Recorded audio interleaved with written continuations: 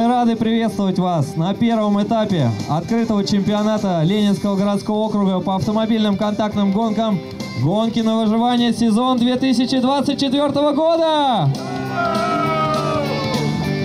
Гонки на выживание, по сути, единственный вид автомобильного спорта, где разрешен и совершенно не наказывается контакт машин, а потому каждый заезд здесь – настоящее экстремальное зрелище. Это уже стало визитной карточкой для нашего округа. А, Развитие у нас уже порядка пяти лет. Едут сюда гонщики со всей Московской области. И сегодня, в частности, наши соседи тоже приехали погонять, поучаствовать.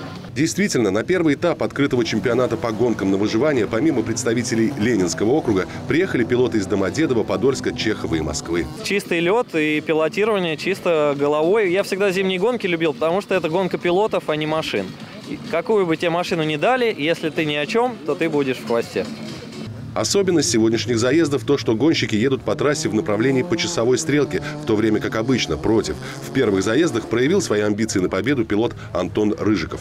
Все всегда меняется, все факторы меняются. Каждая гонка, каждая гонка, она каждая своя. Сегодня, например, едем в другую сторону, и трасса совсем неузнаваемая. Что такое? Ну, приходится прикатываться. Ленинский городской округ представляли два спортсмена Вячеслав Краснонос и Дмитрий Черкасов. К сожалению, обоих пилотов гонка не задалась. Машина подвела. Буквально со второго круга уже начались какие-то проблемы. Сейчас проверяем. Это либо катушка, либо свечи. Тут два варианта. Сейчас механик как раз проверит. Я думаю, что ко второму заезду машина будет в порядке.